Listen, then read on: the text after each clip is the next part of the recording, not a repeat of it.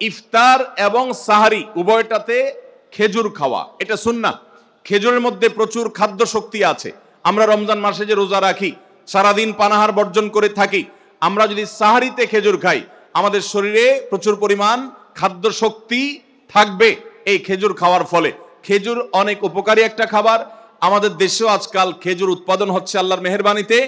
এই খেজুর ইফতারিতে নবী করিম সাল্লাহ সাল্লাম আধা পাকা আধা আধা কাঁচা খেজুর যেটা যে অর্ধেক পেকেছে, অর্ধেক কাঁচা, সেগুলো তিনি পছন্দ করতেন। সেটা না পাওয়া গেলে সাধারণ খেজুর, এটা দিয়ে ইফতার করা।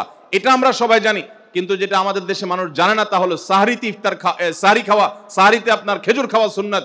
নবী করিম সাল্লা সাল্লাম বলেছেন নেমা সাহরুল মুমিনী আত্মামার ইমানদারের সবচেয়ে উত্তম সাহারি হলো খেজুর। আপনি সাহারিতে ভাত, তরকারি যাই খান বা না খান, অন্তত একটা হলো খেজুর খাবেন।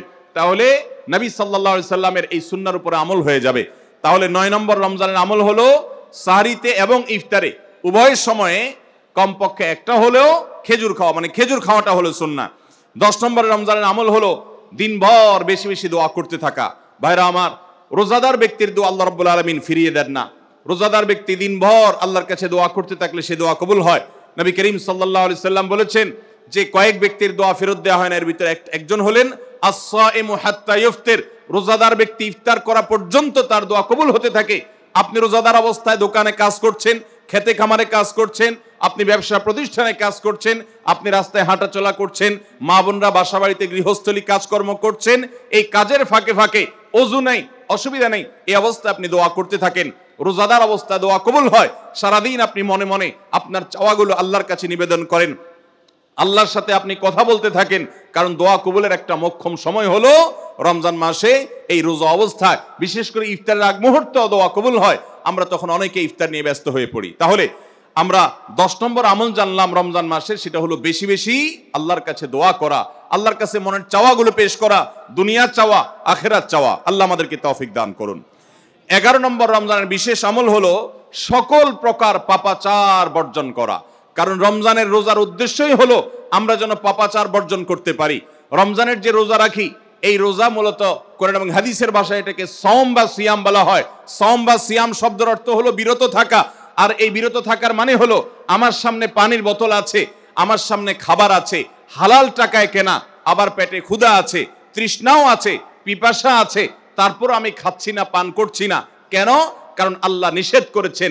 এখান থেকে শিক্ষা গ্রহণ করে আমার সামগ্রিক জীবনে সকল হারাম, সকল নিষিদ্ধ কাজ থেকে আমাকে বিরত থাকতে হবে। সেই শিক্ষা সিয়াম আমাকে দেয়।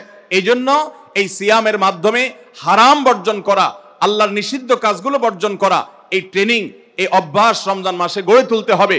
নবী করিম সাল্লাহ সাল্লাম বিভিন্ন হাদিসে সেই গুরুত্ব আরোপ করেছেন। কোরআনে করিম আল্লাহ বলেছেন, তোমাদের উপরে সিয়াম ফরজ করা হয়েছে। তোমাদের পূর্ববর্তীদের উপরে যেমন ফরজ করা হয়েছে, সেরকম। উদ্দেশ্য লা আল্লাকুম তাত্তাকুন। যাতে করে তোমরা গুনাহ ছাড়া আল্লাহর নির্দেশগুলো মেনে চলা তাকুয়া অর্জন করা, অবলম্বন করার ট্রেনিং নিতে পারো তাকুয়া অবলম্বন করতে পারো, শিখতে পারো এখান থেকে। অতএব রমজানের এগারো নম্বর বিশেষ গুরুত্বপূর্ণ আমল হলো সকল হারাম, সকল পাপাচারগুলো এই মাসে বিশেষভাবে বর্জন করে চলা। যদি সেটা কেউ না করে, তাহলে তার এই রোজার কোনো অর্থ হতে পারে না। অতএব এগারো নম্বর আমল, পাপাচার বর্জন করে চলা। বারো নম্বর আমল হলো পাপাচারের মধ্যে আবার বিশেষ করে মিথ্যা কথা, মিথ্যা কাজ প্রতারণা দুই নম্বরই। এগুলো পরিহার করে চলা। এগুলো অন্য সময় তো পরিহার করতেই হবে। রমজানে আরও বিশেষ গুরুত্বের সাথে পরিহার করতে হবে। বুখারের হাদিসে আসছে, নবী করিম সাল্লাহ আলি সাল্লাম বলেছেন মাল্লাম ইয়াদা কাউলা জোরি ওয়াল আমাল বিহ, ফালাইসা লিল্লাহি হাজা আন ইয়াদা তাআমাহু ওয়া শারাবা। যে ব্যক্তি মিথ্যা কথা, মিথ্যা কাজ এগুলো ছাড়লো না, সে ব্যক্তির উপবাস থাকায় আল্লাহর কোনো ঠেকা পড়ে নাই। অর্থাৎ তার এই রোজা থাকাটা উপোস থাকা ছাড়া কিছুই নয়। আর তার এই উপোস থাকায় আল্লাহর কোনো প্রয়োজন পড়ে নাই।